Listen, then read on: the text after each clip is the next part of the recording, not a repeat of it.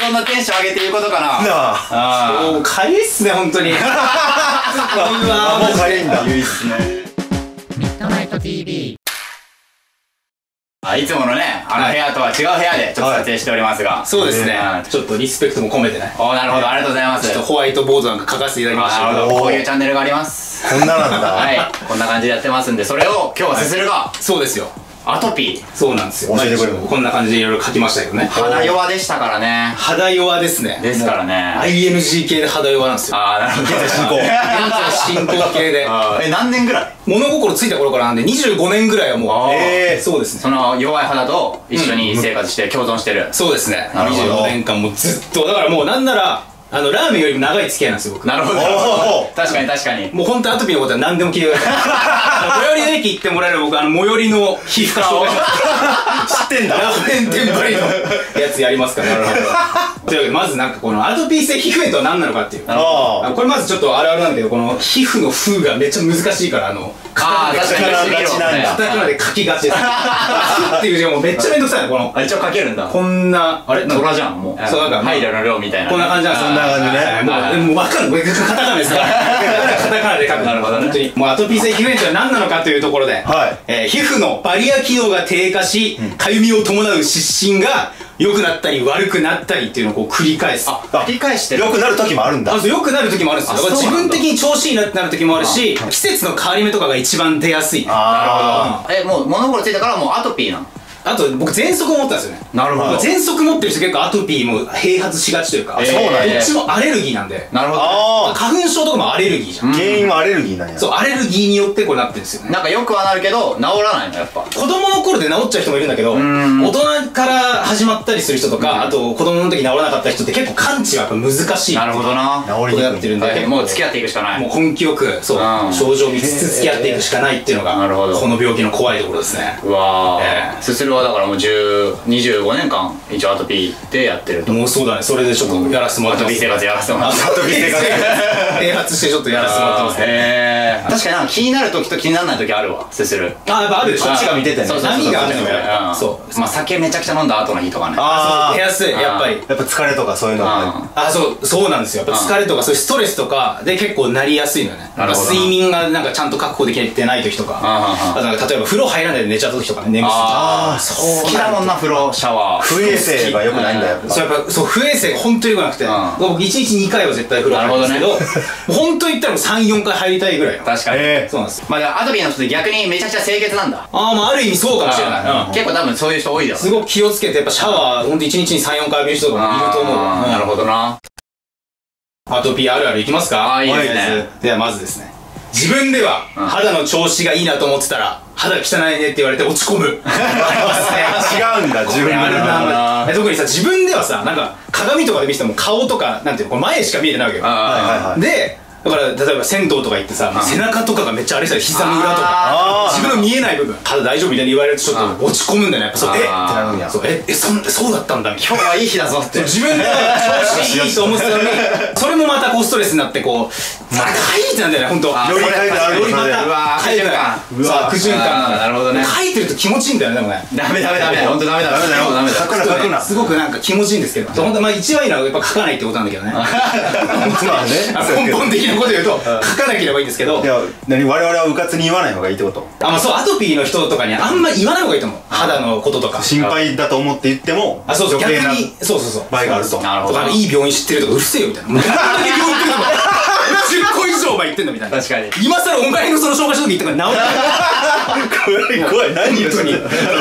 レバーと一緒ここのここのレバーはもうここのレバーはうまいみたいな。あ出たうるせえよってお前何個何個レバーってなると。思って酒と一緒酒と一緒もうこれもう水みたいなの飲んでみっつって。飲める。いてるからアルコールだから。これなりがちですなるほど。わかるだわからねそっとしておくっていうのが一番いいですね。なるほどねうん。それを人なりの付き合い方があるから。あそうそうそう。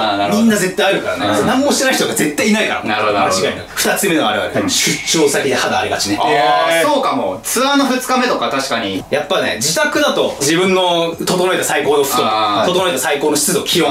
これ全部整ってるからやっぱ肌荒れづらいんだけど、ホテルとかってめっちゃ乾燥してるのね。あどんだけ加湿器やっても、うん。ちゃんと風呂入ってもうケアして寝ても、うん。どうにもならない時結構あるんだよね。あとか睡眠が確保できないとかね次の日朝早くて。あなるほど。環境によって。あそう環境でかなり変わっちゃうね。え全国編の時とかどうだったの？全国編の時は、あのその時ねなんかあんまりなかったんだよな。なんかそうだよね。うん。元気だったよねうん。あそう。なんか最近またひどくなってきてああなるほどね。その時ちょうどいい時だったんだ。結構ねいい感じのコンディションだったんですよ。あれでも変わんの？布団とかの。布団も変わるね。あそう布団変わる。やっぱあの、えー。何？ホテルのあのもうガサガサのさもう超硬いやつとか。あなんかやっぱダメなんだよね。あダメなんだ。ちょっとあ通気性が良くないのかなんかわかんないけど。全然気にしたことないけど。なねそうだね。本当あマジか。大変だな。ホテル起きたらもう血まみれになってる時あるもん。ええ人死んだかみたいな ぐらいのもう普通に血めっちゃついてるなとかあるもん。怖い。えうん。では3つ目のあるある、はい病院好きになります。あー好きになる。好きになるの？あるねこれありますね。これ。えそれはめちゃくちゃ有名だわ病院好きになるんですよ、最低でもね月1で病院行くんだよ、ーうん。うん。幼少期なんかは特に2週間に1回とか行かなきゃいけない時とかあるわけ、経過観察みたいな感じ。なるほどね。最初はそれ嫌だけどやっぱ病院での過ごし方とかも心得るわけよこっち。はいはいなのでめちゃくちゃ病院好きですね今でう病院の匂いとか嗅ぐとすごい落ち着くというか。落ち着くんだ。え変なオルゴール聞いても大丈夫？出た。あね。れいいからやっぱオルゴールの曲ね。オルゴールバージョンの嵐のラブソースイッチいやあるけど。めちゃくちゃあるからな本当に。あれちょっと不安になるけどな。なあちょっと怖いよな。うんあれで結構育ってきたからね。原曲知らないけどオルゴールの曲が好きみたいな。オルゴールバージョンだなるほど。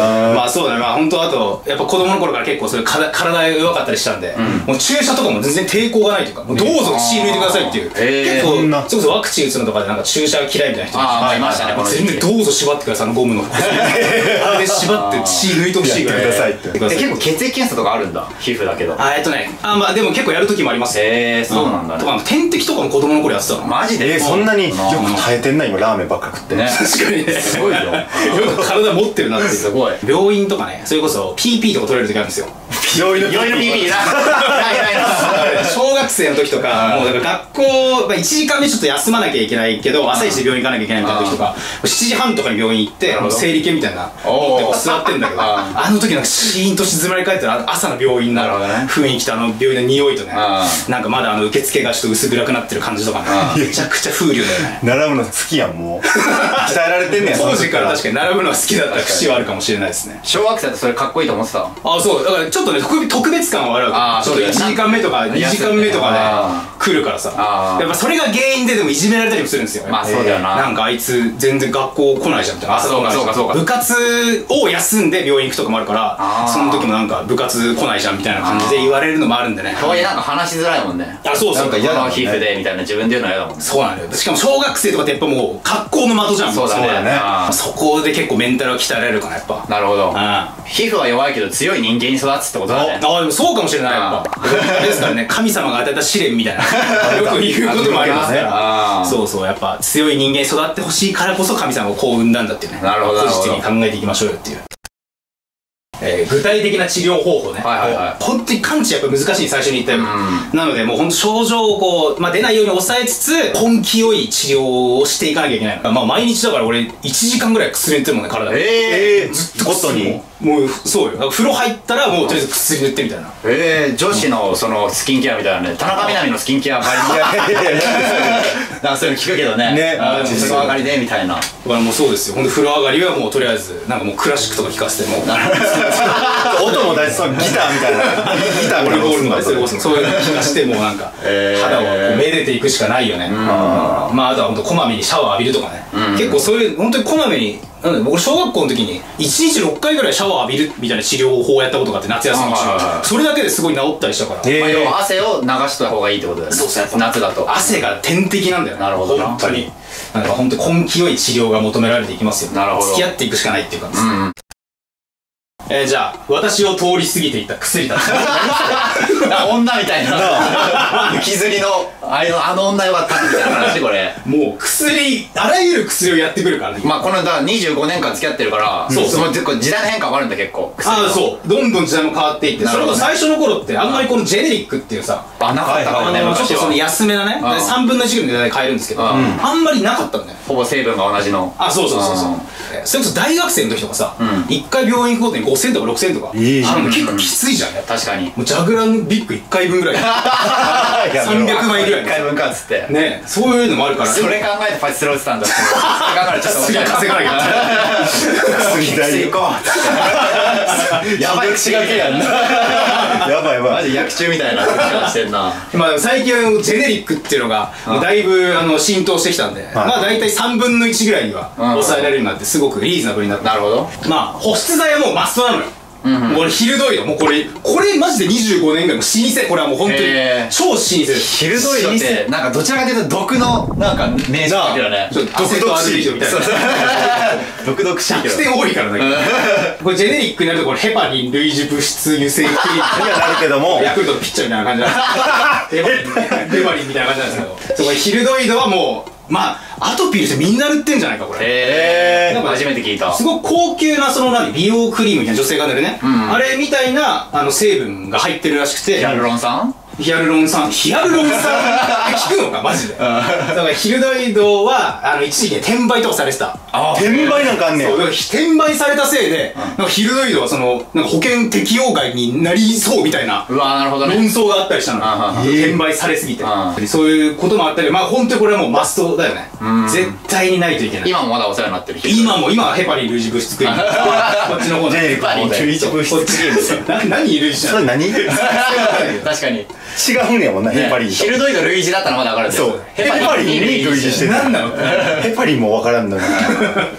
でまあ内服薬まあ飲み薬ですねこれは。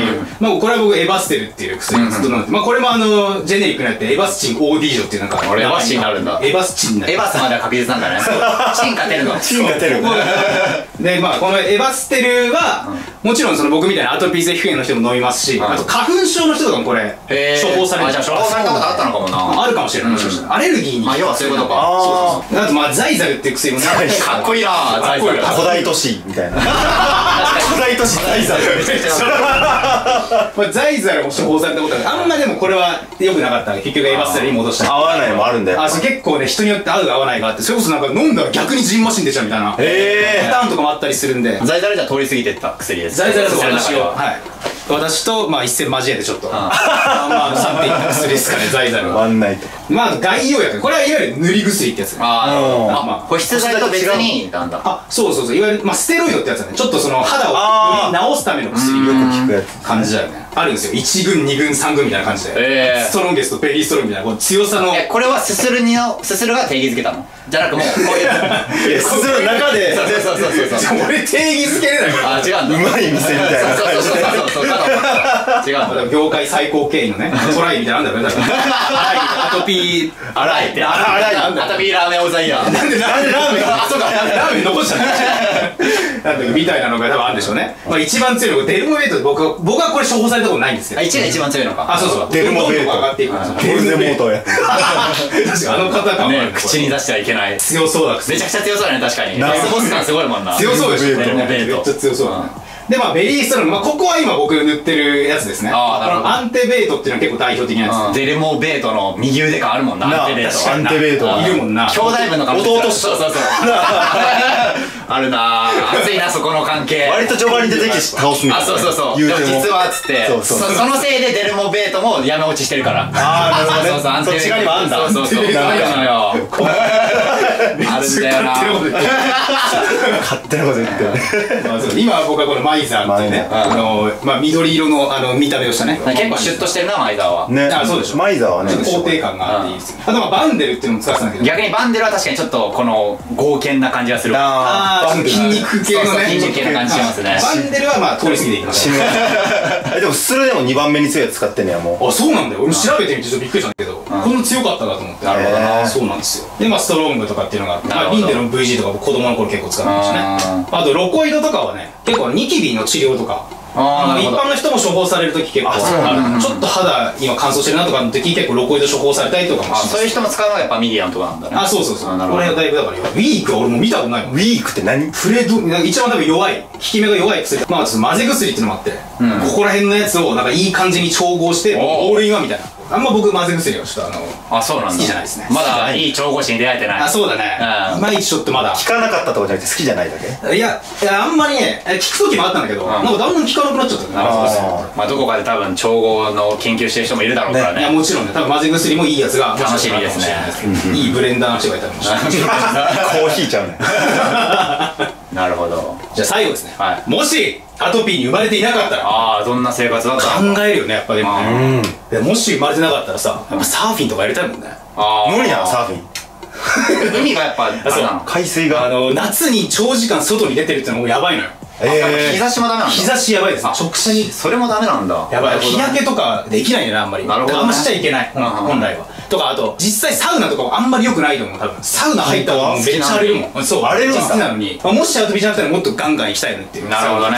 あじゃあそれでもセーブしてる方なんだ今。いやアトピーだからっつって。そうですね。そうだね。なんかもし生まれてなかったらもっとなんか陽の人間だったかもしれないね。確かに。サーフィンして。ねフェスとか行ってフェスも行ってさ。オクトーバーフェスとかビール飲んでさやってたかもしれないな日サロ行って歯白く して それは新庄やん。ただのそうね。そうですね。やっぱもっとなんかアクティブな生活ができたのかなとか思い思うよねなるほど。それこそ本田家とかすごい羨ましくて。みんなやっぱさいるじゃん。本田家っていうまあねめちゃくちゃ汚い本田さんっていう俺らの先輩の家があって。で僕ら僕とかはもうだから常駐してたのよ。その汚い家だろう普通に行けたそう大学生と関係なく。だから最初の1日2日だけ。ちょっとやっぱ咳込んだりします。でもちょちょっとかゆいなみたいなのあったりします。確かにかゆいもんなあれ。かいあそこでマジかゆいあ俺もなかったよ俺も確かにそうだわ。そう確かにすするあんま止まってなかったもんね本田家泊まりはねもうできればしたくないのよああなるほどそもそも人んち泊まらんもんなあんまり。あんま止まんない止まんないようにしてるよやっぱ。り風呂入りたいんじゃないやっぱ。ああはいそう。そうこんだけやったらもうよりだよねより。不衛生な家だとより。そうなのよやっぱ、うん。いや好きなんだけどね。本当は行きたいんだけどってだらしなさね。肌のことを考えるとやっぱ徹夜でみんなと遊ぶみたいなのがなかなかできないからね。確かに。結構すする健康麻雀だけどたま鉄マンとかあんましない気がするの。なんもしないよ。昼間の麻雀ってそう昼ことがあんの。昼麻雀やるみたいな。さ うん。そうね。夜通しとかなるとね夜中の4時ぐらいになんか裏ドラとか載せられたらめっちゃ痒くなる もん確かにストレスでもあるからな。そうそう。ストレスになっちゃうからね。確かに確かに。そうなんですよ。なるほどな。はい。はい。みたいな感じですかね。うん。まあこれで共感してくれてる方がいればね。うん。いや確かにそうよ。やっぱ世の中にいっぱいいるはずだからさ。いやでもこうやって声を大にしてね言ってくれたのはすごいいいことだと思います。YouTuber が。そうですね、ん。本当苦しんでる方もたくさんいると思いますけど、みんなで手を取り合って頑張っていこうよっていう感じですよやっぱ、俺たちも変わったよちょっと。そうだね。おー。印象変わった。それは素晴らしいことです。ただの弱い人間だと思ってたから。た だ弱い。全部弱い全部弱いと思ってたから。いろいろあるんだなと強い人間だなと思った本当に。ハートはね。メンタル本当に鍛えられますね相談しよう。すするにいろいろ人生を。それはまた違うぱ長瀬のブログ使ってね。直し続けてね新庄。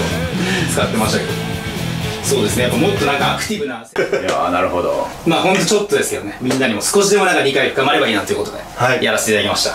ありがとうございました。ありがとうございました。ありがとうございました本当に